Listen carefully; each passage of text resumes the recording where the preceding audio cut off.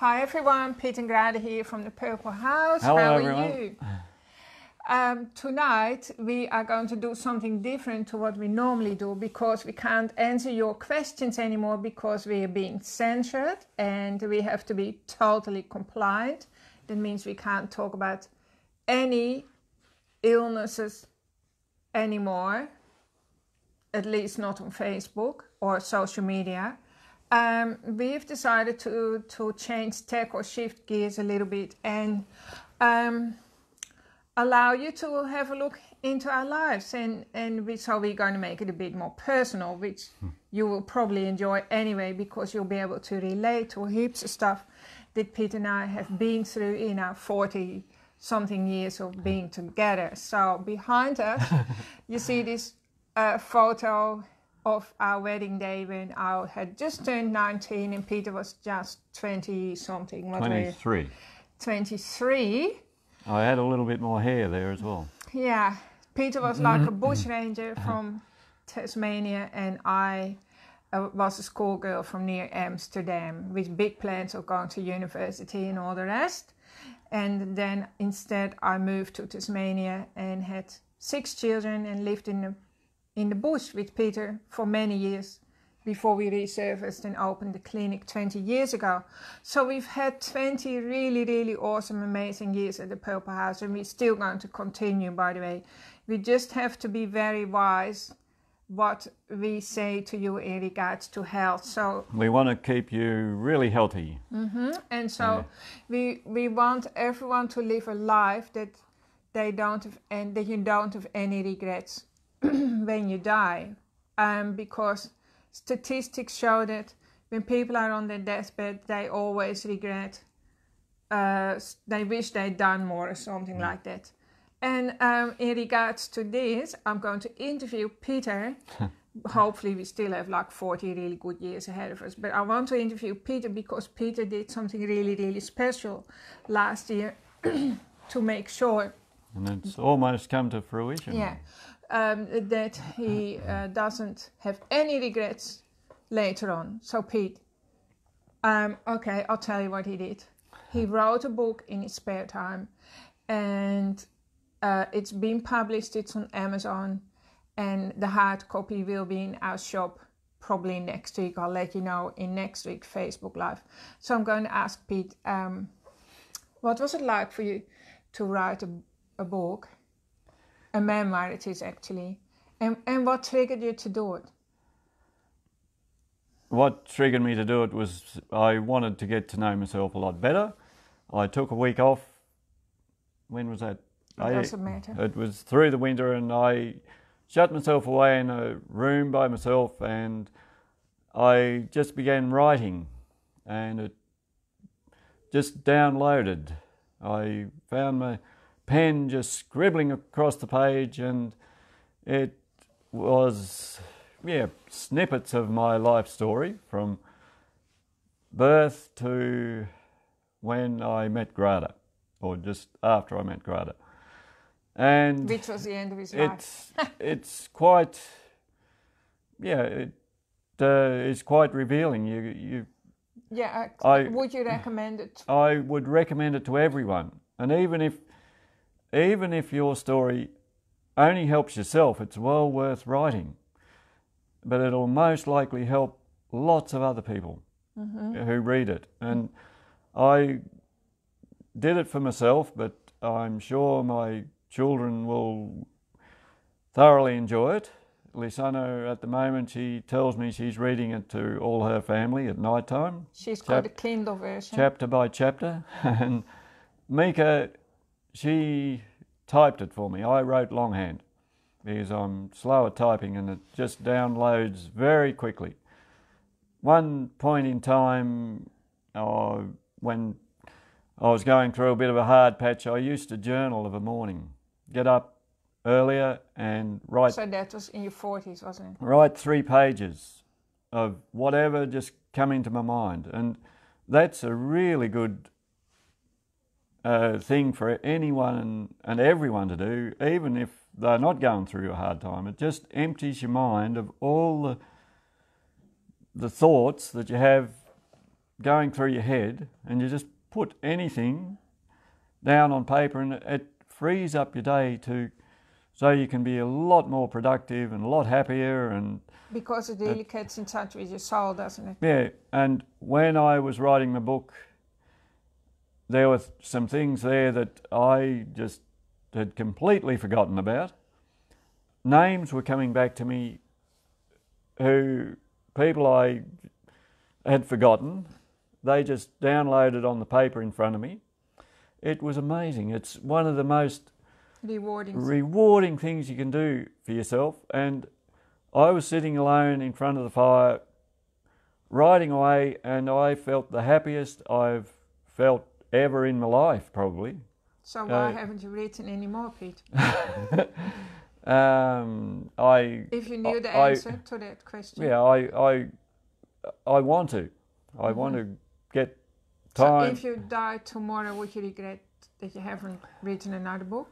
I would like to write the next chapter mm-hmm. of our my version of our married life. I ended my book by saying you can now go on and read Grada's memoir, which started probably when it accident more we, or less started when we met, when which we is met. completely non-intentional, by the way. No. I wrote my book in 2000 and I think 16 or something, the bulk of it, but I didn't publish it till last year.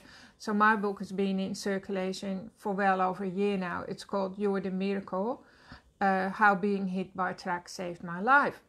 Also, very, very personal, by the way, so, because uh, Peter and I, we both decided if we were going to write a book and make it um, rewarding, we and we had to be really, really completely honest with ourselves and not dry clean any parts of our lives, because otherwise, it's not really much point doing it because it's all about being honest mm. with yourself.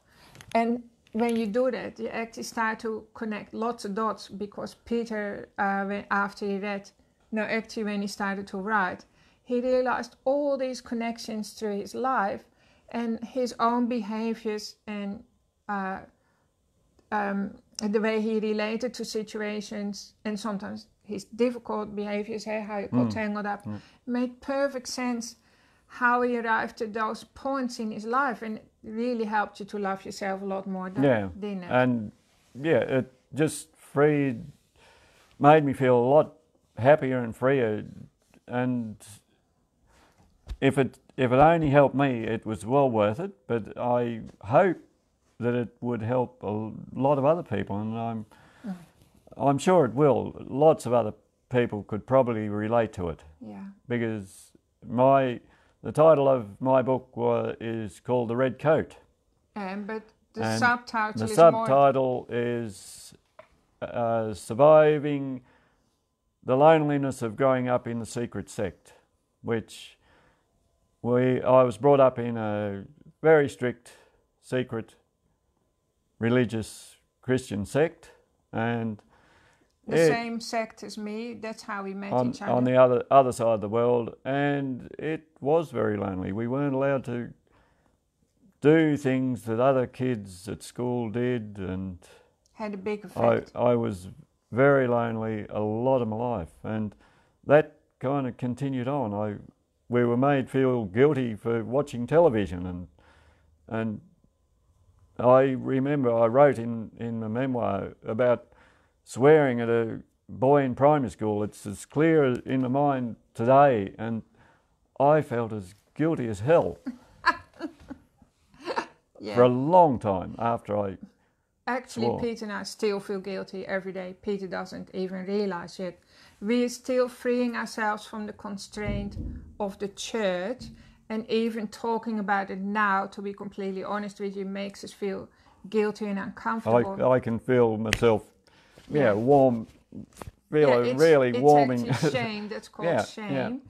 Yeah. Um, because we only left the church uh, in 2017, which isn't even that long ago, and our children got the same upbringing. So, in the end, the reason Pete and I left the church, which is actually was in the end very traumatic, we were thinking about it for about 10 years, but people didn't realize how much we were thinking about it. But in the end, we realized we simply can't grow anymore without stepping out of that culture because a sect, another word for sect is cult, which is short for culture, which is like really, really strict beliefs that we had to adhere to. And if you didn't adhere to it, uh, there were consequences, right? So we were also always living in fear of those mm. consequences, like either that would be implemented by the church, like maybe excommunicated or we were silenced inside the church, or the other thing would be, uh, well, we didn't know what would happen to us if we stepped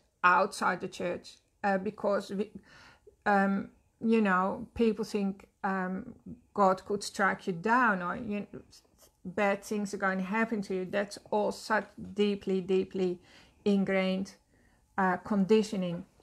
And so, um, I, I, on the other hand, I did have a good childhood. That's right. And, that's and, it, and it, it, was very the the group of people were beautiful really people. beautiful people, they loving, still loving, are very and, beautiful, yeah. intelligent uh, people of all walks of life. And, so, yeah. Um, so like professional people, engineers, doctors, as well as you know all kinds of people who um, who are converted to it or they born in the sect. And when Peter and I left, that was our biggest heartbreak, that um, we caused um, our friends a, a heartache because now we actually don't have to do with them anymore because I guess uh, our ex friends think that we might contaminate them. Nobody's ever asked us why we left. It's just we left, and then it's kind of we don't belong there anymore, and nobody asks questions because people don't want to hear what we think in case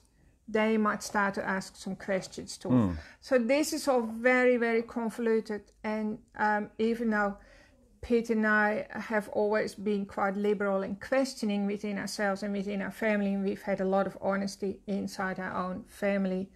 Um, it's still, you actually don't feel liberated till you step out of that environment and you stop being uh, gaslighted, I guess is the word really we're thinking of, isn't mm. it, Pete? Yeah.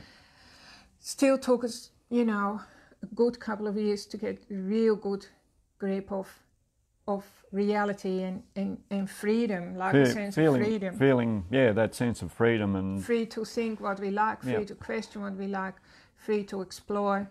It was more that we felt really trapped in the way we had to think all the time. And and mm. speak and mm. yeah, things we'd say yeah. and so ironically yeah. when I wrote my book I was still in the church, which also made me feel a little bit gagged, which is funny because now the gov I step out of that culture or cult or the sect, and now the government is stopping me from sharing with you all the things I feel passionate about about health. But anyway, so we want to start to go more into personal stuff. So Pete, I just want to go back to Peter now. Um, the book, when you were writing the book, there were some really, really challenging things you had to write about. So can you mention probably um, the two one was the biggest heartbreak of your life. And the reason by the way people why i asked that is because our heart center if you want to live from your heart which is i recommend that everyone does gets closed down by grief and sadness. And it's like sadness and loss that we don't want to look at. So when clients mm. come to me i always one of the first questions uh, if it's the right time and safe enough, I'll say, What's the worst thing that's ever happened to you? We put all the cards on the table so we can start healing, start doing deep healing straight away. So I'm going to pretend Pete is a new client and I'll say to Pete, um, What's the worst thing that's ever happened to you? And can you share that with us? When I was 19, I was in a, a rafting accident on the Forth River and I lost my best mate and he drowned. I survived. I almost died of hypothermia. Came to in the hospital and asked people where my mate was, and initially they wouldn't tell me. And can I say the name?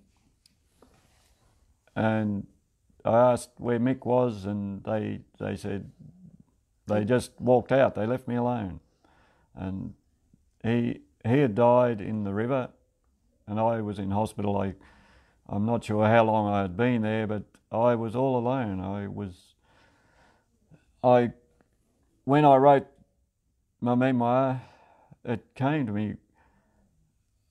Why? Why was I there all alone? I was.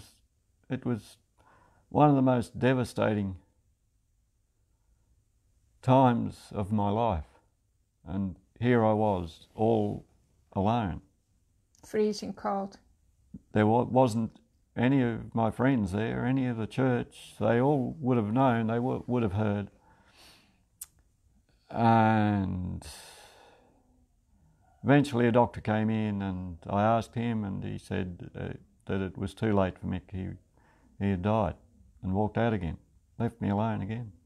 Mm-hmm. So, it, and I, I, the grief and guilt that I felt in that time overshadowed my life, my relationships, my family life for how many years? 20. 25 years. 20, 25 years before I really somehow come to grips with it and it, uh, yeah, disappeared. Actually, Peter came to grips with it probably just before I had my track accident. Yeah. So, um, um, that whole period of time from when Pete was 19 till he was probably uh, 45 or something like that, he was living in constriction, you could say. Mm. But because I met Pete after the accident, I didn't really know him other than that. And I just loved him the way he was, although at times I would always try to crack him open. but well, I just couldn't. It, it, it would have been unbearable for. Yeah. I used to go into really black, deep uh, periods of deep despair and blackness, and even though he had like um, I, loving yeah. wife and six loving children, yeah. and all the rest was good. So uh, it was pretty intense, wasn't it, Pete? It was, and so I, I hated being there, but I just couldn't. It was just active, yeah. a sense of total rejection yeah. of the self, I'd say. Anyway, so Peter um, got th- started to get through that in his 40s when, he, when he started to face his demons. And you also started to write in a journal then, and that really, yeah. really helped in it. Yeah. So, um, what was I going to say?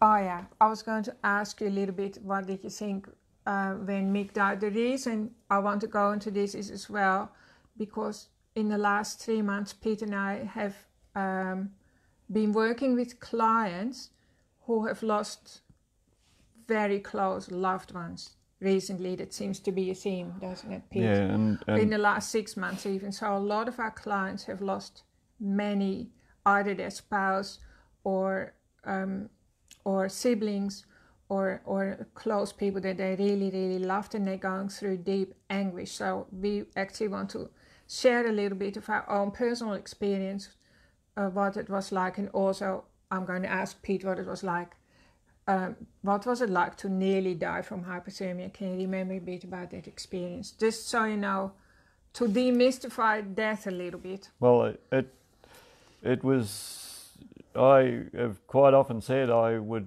love to die that way because it was an amazing, peaceful, blissful experience. I just put my head on the side of the raft and everything just went totally peaceful. And then I couldn't remember anything. It just faded out. Beautiful. Yeah, because we often, when we're looking on, and I'm talking also now for my clients who are dealing with the pain of losing people, hey, people who suffer. When we're looking on, it looks awful, doesn't it? It looks as if people are suffering and struggling. But when you're on the inside of the dying process, it's actually completely different. Because um, when I had a near death experience after I got hit by the truck, I also, it was the most beautiful, peaceful, uh, how, what's the word? Experience. Like I just dropped into my soul, like I, left my body, met my own soul, and um, felt a complete shift of consciousness. I became completely, uh, what's the word, fearless. Like fear wasn't part of me anymore. And that's when I realized that when we're in a body, we are so controlled by fear. So it was just a beautiful state of being where everything was in order, like even everything on the whole planet was in order because of always being conscious of so much trouble in the world. That's how we grew up as well, by the way, to believe that the world was a place of trouble and of evil. And that was just. The universe was against us, yeah, not for us. That's right. Yeah. When I had a near death experience, that everything was turned on its head and I got a taste of unconditional love and support. And I also realized that state of being is always there. I can drop into that any time of the day if I choose to do so, right? And we all can. So, um, Peter, I wanted to ask you when you saw Mick then, when Peter had to say goodbye to Mick, what was the experience of that? I saw his body in the coffin and Mick wasn't there. It was just his shell was there, his body. But and I said to Debbie's sister, I said, Mick's he's not there. He's gone. Yeah. He's not there. but she thought I had gone crazy. yeah, well, this is the thing. Because it, it, it gave me, it, it made me feel excited in a way. Because he think, also looked peaceful. Yeah, he, he was his, peace, his his body looked really peaceful, and we were speaking recently to a friend of Grada's who saw a brother after, after he'd committed suicide. After he'd committed suicide, and she said he was the most peaceful she had ever seen him. She didn't realise how much anguish he was in in All his, his life. life. Yeah. And he was peaceful. Yeah. And it is a peaceful experience. Yeah. So we're just talking about yeah. it because we want you to feel less resistant and less fearful when it comes to thinking about death because um, it's different to what you might, it's completely different to what you expect. For the, per, for the person looking on, it's not nice, but for the person going through it, and yeah, it's it's just a transition of it's a transformation. It's actually yeah. um, a beautiful transformation. Mm. And also, I would like you to consider the fact that sometimes people die so they can be really close to you all the time. So they literally, their soul cho- makes the decision. They kind of opt out of this body so they can be closer to you all the time. They never have to leave your side anymore. So that's also a really nice, comforting thought to to um, remember that that your loved ones have never who've passed over they don't leave your side they stay with you all the time and they'll be with you when it's your t- turn to transition so um anyway. quite quite often uh, we relate our loved ones to certain things grada's mum she loved the grey thrush our native grey thrush in tasmania because it she said it's saying yo pretty. Yo was her name, and she thought it was saying yo pretty. So we, whenever we hear that bird, we say there's Oma, there's Grada's mum. And, and she, uh, and and I I truly believe that because sometimes we hear the grey thrush at the really weird times of the day or night even sometimes. And and it's very apt times. They, For instance, when Eve was giving birth to Bobby, which was her first child and Azure just popped out to go to the shop to buy something, so she was all at home by herself, and her labor suddenly intensified. She could hear what we say, Oma, uh, outside the bird was singing to her.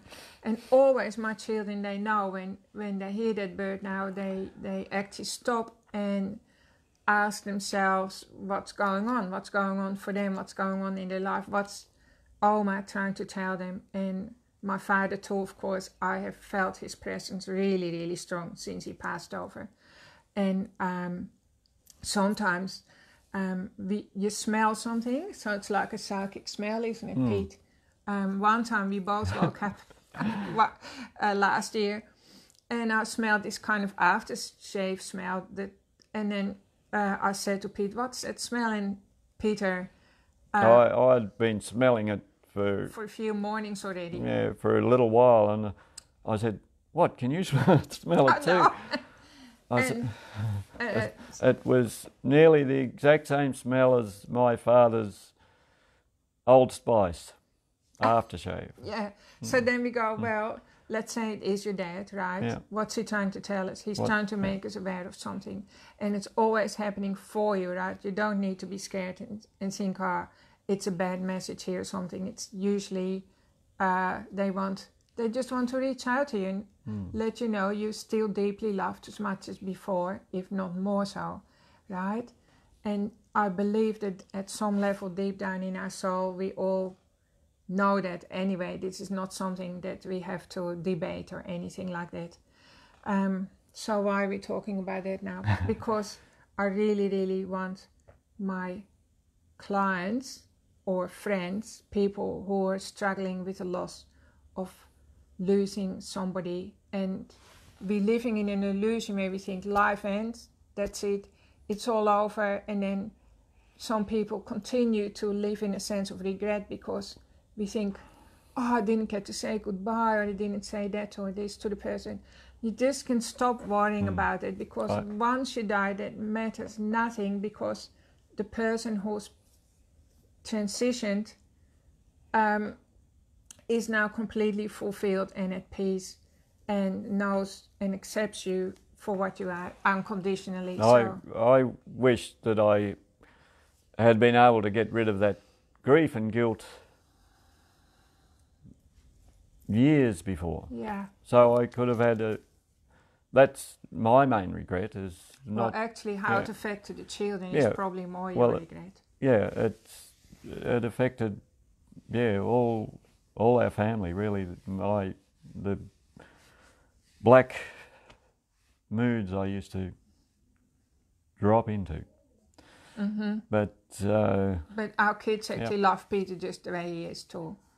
And they learned from it. So if we want to say another uh, helpful hint to you uh, as parents, you don't need to behave in a certain way, like you don't need to be the parent or anything. You just need to be yourself. be yourself.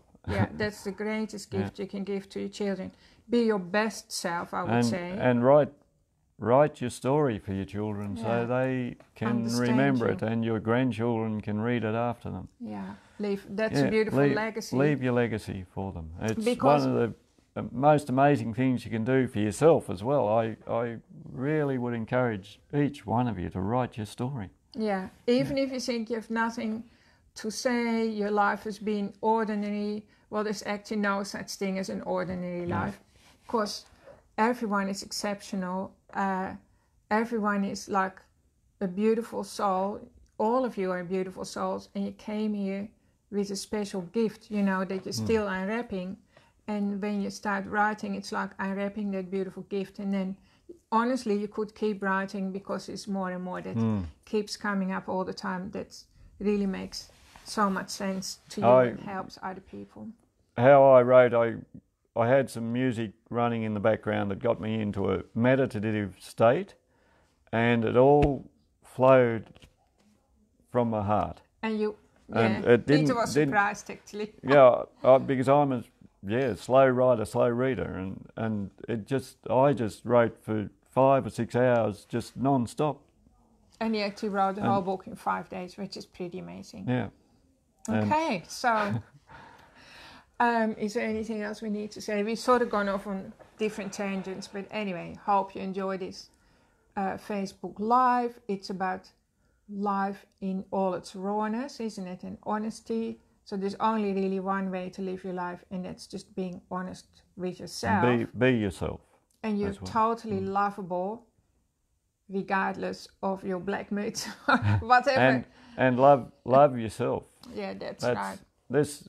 I wrote in the book. I thank Grada for for the one that's helped me to come to love myself, and so I'm know that I'm never alone. I I've got me with me all the time. That's right, because you're married to yourself in because the first place. because I I was neglecting myself all those years as well. Mhm. When you love yourself, you Mm. don't feel needy, and your partner will love you even more because then it's a different type of love. It's not a needy love. Mm. eh? So um, give yourself permission to love yourself. By the way, in our church, that was really frowned upon. So everything was very convoluted, and we really had to navigate our way through we were really lost in the forest for many many years like trying to find uh, true peace and um, true what's the word be true to ourselves at the same time and it was just so many conflicting messages all the time and when things didn't work for us we were always questioning ourselves but we weren't really questioning what we should have questioned which was actually uh, the church i guess really happy anyway so i guess the, here's another thing. Always question everything. Turn everything on its head i usually say to turn things on the things you believe the things that you've believed since you were a little child, turn it on its head just for fun and see if that's not closer to the truth, right? Because your own internal navigator will tell you mm, that actually feels better or that makes more sense. And that's how you can find your way out again. So thank you for tuning yep. in and um, hope you I'll, enjoy my book. I'll post. The, I'm sure you will. It's just a little book. You can read it in a night. Have your tissues ready and it also uh, it's quite funny when we read it because um, we realize now Peter being 60 you know that 60 years ago things were incredibly different than today it's, it's so li- it's life into the past life really. life growing up in Tasmania 60 years ago so it, it gives a bit of an insight into yeah. how life on a farm was like as well as number yeah. seven as well eh? in the family yep. with mostly boys Okay, so thanks for tuning in. I'll post the link so you can uh, already read the book on Kindle if you want to. I think it's what, $6 or $4 to download or something like that. And the hard copy should be out very, very soon. Anyway, if you have any questions regarding your own personal or spiritual journey, um, you can put it in the comments. And we're still in the process of deleting posts from our Facebook page and from the website. I think most educational posts have already disappeared, and we're just going with it with the flow at the moment. We're not going to put up a fight or anything right now, and we've put all those articles in the freezer in case one day we wake up and we're living in an uncensored world, we can post them again. Okay, thanks mm. for tuning in, everyone. All right. Looking forward to seeing you next week. Good. Bye. Yep. Have Bye. a good week. Thank Bye. you. Bye.